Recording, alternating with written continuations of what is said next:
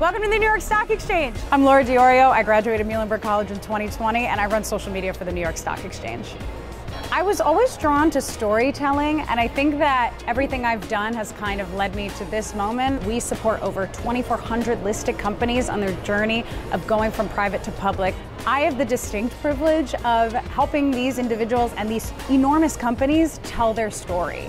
And I find that social media is the most direct and specific way to do that. And I can't believe that I get to work with really exciting and innovative people every day. Laura is the greatest. This is the greatest financial institution. We need a social media gangster. This lady came in and broke the place apart on every piston, blowing everyone's mind. That was Pete Tuchman, Einstein of Wall Street. He's one of the most photographed traders on Wall Street.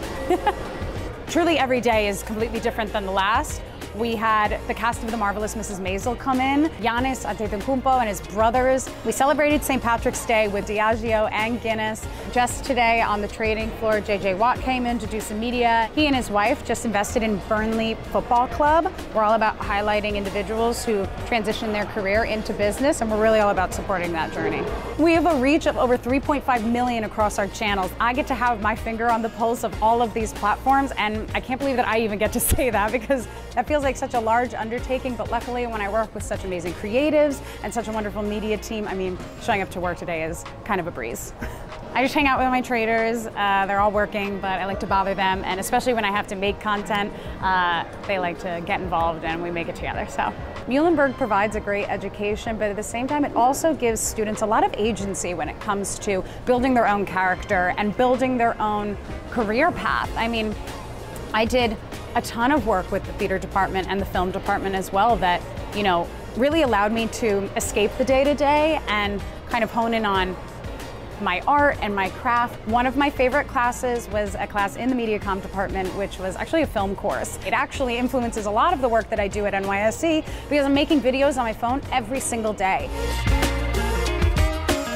Every day I come down here, celebrate the opening of the closing bell. We're about to celebrate the closing bell. Everybody gets really electrified and ready to go. And then we start to kind of round the applause and get everybody hyped up.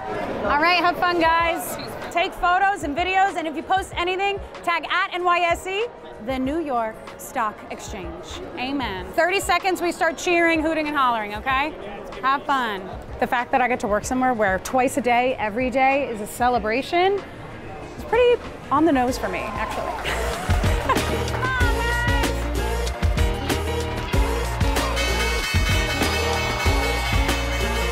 I think being a part of a community is reminding yourself that you are a part of something larger than yourself. I wouldn't be able to do what I do here every day without my amazing team. I think what it means to be a part of the Muhlenberg community is to Remember to live as boldly as possible. Take those risks. You know, I'm really appreciative of my time at Muhlenberg and all my friends need to now follow along at Ad NYSE to see the work I'm doing because we're having some fun around here.